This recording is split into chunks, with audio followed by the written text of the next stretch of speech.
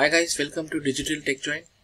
In this video tutorial, we are going to learn about replication of rules in AWS S3. So, what is replication? Basically, you will be able to copy S3 bucket objects, whatever objects uploaded in the buckets, to the same region in another bucket, or you can do also copy the objects from one region from one account to different account and different region. So let us go to our amazon console window and check how to implement this. So i have logged into my aws console. I will go ahead and select s3 in the s3 bucket i'm going to create one bucket named as digital tech joint. So it should be lowercase. So digital tech joint bucket 1 and this will be created in Mumbai AP South 1 and um, I'm going to enable versioning and create the bucket. Okay. So I've already created the bucket now I'll create one more bucket where I will enable replication. So I will enable replication on this bucket. That will enable me to replicate all the objects uploaded in this bucket into the new bucket that I'm going to create. So now this bucket which I'm going to create I will create in a different region. So here instead of Mumbai I'll select Singapore AP Southeast and I select ACL enabled. Rest all options will be the same. And I click the bucket. Now this bucket I have created in a, another region. So I'm getting a response. Conflicting condition.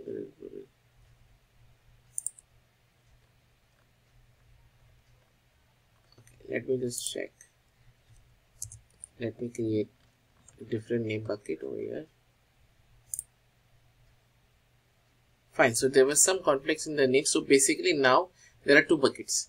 Digital joint bucket 1 and digital joint bucket 3 what i'm going to do is that whenever somebody uploads object in bucket 1 i need to replicate that into the another region that is singapore.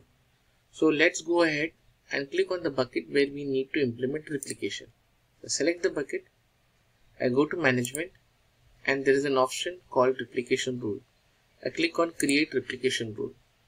I give the replication rule ID. So I say replication rule 1. Okay, and then there is a source bucket. So I need to provide the source bucket. So the rule says limit the scope of this rule using one or more filter or apply to all the objects. I select apply to all the objects. Then it comes destination. Where do you want to store the objects uploaded in this bucket to which bucket you want to store. So here i'm going to choose choose a bucket in this account. So i'm going to choose a bucket in this account. But this also gives the capability to choose a bucket from a different aws account. Now here if i have this is an aws account and i want to move to some other aws account i can definitely do that in the same region. So it's possible that there are two ids and two aws account and if there is one bucket created in account 1 Mumbai South East zone or Southwest zone and in the Amazon second account also there is a bucket created in Mumbai zone then I can have the capability to move this bucket from one one account to another AWS account. Right now in order to do that you need to provide 12 digit AWS account ID and the bucket name. Now this 12 digit AWS account ID can be fetched when you click on the extreme right corner over here. So when you click on this, you'll be able to see the AWS account ID. For now, we are going to use choose a bucket in this account and I'm going to select the bucket that I created in Singapore Southeast region. So I select this bucket 3. So this is created.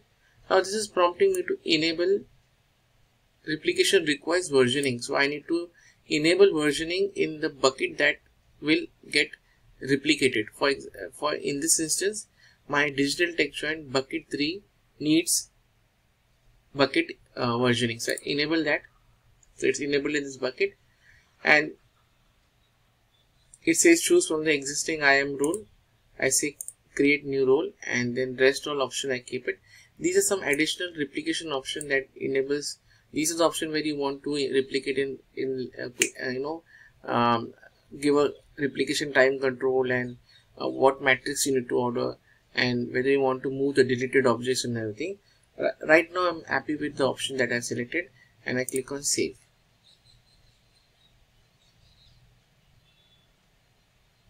So it prompts do you want to replicate the ex existing objects in the bucket 1 folder? So right now I say no so we'll do as it is I have not uploaded anything in digital TechJoint bucket 1 so let's go ahead. Now we can see buckets. There are two buckets. One created in Mumbai South Asia uh, zone. And then second bucket that is created in Singapore Southeast zone. I will select Digital TechJoint bucket 1 and upload some files. I select an image. I select one I select a PPT and I click on upload so both the files are uploaded. So you see in digital TechJoint bucket 1 both the files are uploaded. Now it takes some time to replicate these objects in the second bucket which is there in a different region. So let's go ahead and see whether it's replicated. So right now it is not replicated. It might take around two, three, two to three seconds. But let us wait and so that I can show it to you. Yes. So it just took two minutes or less than two minutes and we are able to see objects in our Singapore region bucket also. So this is how you need to enable it. So I uploaded two files over here in this bucket and then it did a cross replication and stored the same in into another bucket which was there in another region. So I hope you like this video and I recommend everybody that you go ahead and watch my S3 videos that I released which contains um, with right from the introduction so I have created a lot of videos related to S3 so I hope that you watch these videos I just show you the playlist so this is the playlist I created a video on the introduction on simple storage service and how to enable bucket versioning how to host a website on S3 and how to generate presigned URL for sharing private files to selected users. So I recommend that you go through these videos and I hope you like this video. Uh, please do subscribe my channel, like my videos, share my channel with all your friends and colleagues and help us to grow our network. Thank you for your time.